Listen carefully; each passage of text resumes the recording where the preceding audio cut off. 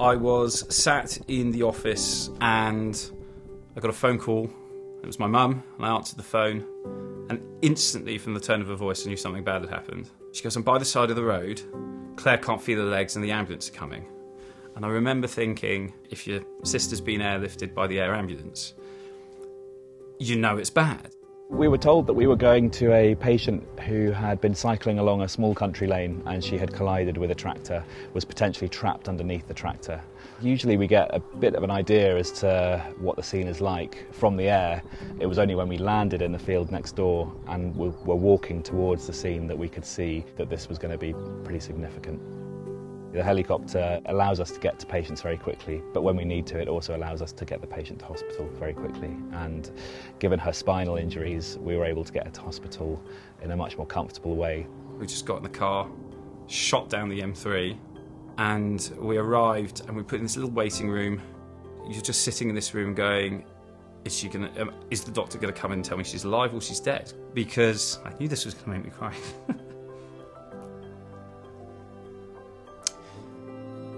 we thought she was going to die. Right? Hi. Hello. I remember from the day saying, you know, bye to my parents because, you know, I'll be back in about an hour.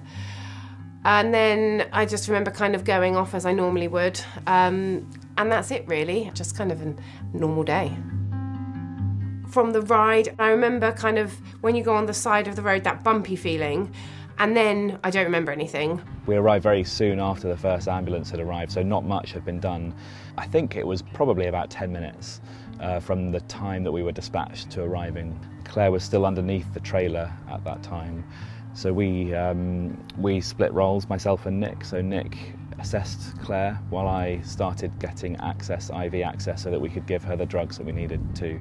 It became obvious uh, that Claire was still conscious pretty quickly. She was uh, obviously in pain uh, and having problems breathing. Our main intervention, uh, I think, was to do a rapid assessment, gave her some strong pain relief. Um, initially, uh, her blood pressure was okay, but then started to deteriorate, so uh, we ended up transfusing her some blood. And then our aircraft allowed us to move her to the major trauma centre in Southampton. By us attending Claire, we were able to get her to hospital um, much more quickly, get her, to the, get her to the right hospital, and also give her um, active treatment en route that she wouldn't have otherwise had.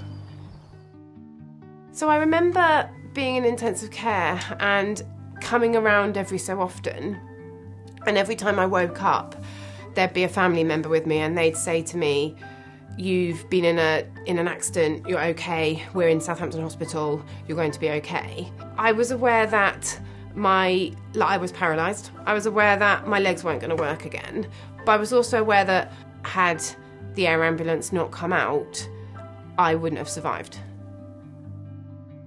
The women in my family are very sporty. Claire, she found running, and then someone suggested triathlon to her, and she had a real talent for it, and that became her life for, for well, right up until she had her accident.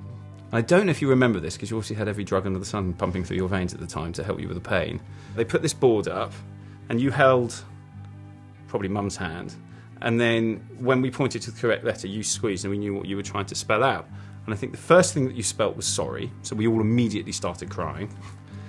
And then the second word that you spelt out was Paralympics, which then made us cry even more because we just thought, how can you possibly be thinking positively in a head so quickly and so soon?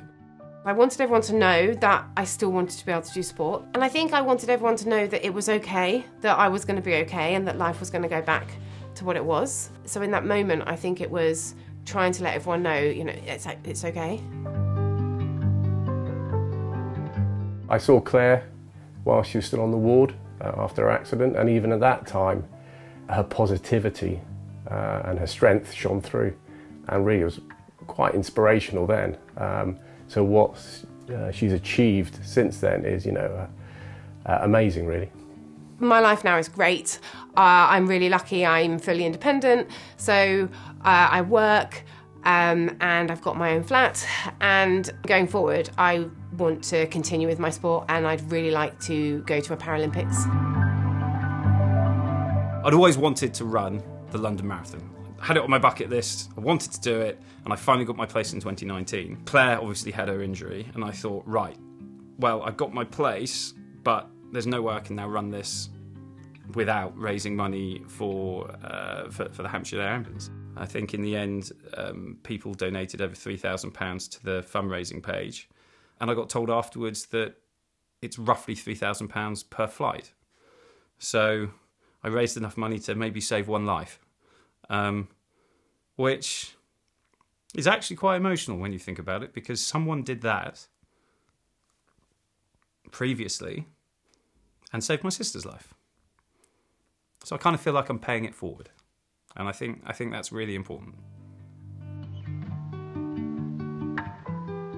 The crew on the day, Tom and Nick, the the one thing that I would say to them would just be to say thank you. They saved my sister's life. It's it's that simple. I'd love to I'd love to buy them a beer and give them a big hug, and try not to cry when I meet them. they saved my life, but in doing that, they not only obviously changed my life, but my family's life and all the people around me. My life is very much how it was before. Just sat down.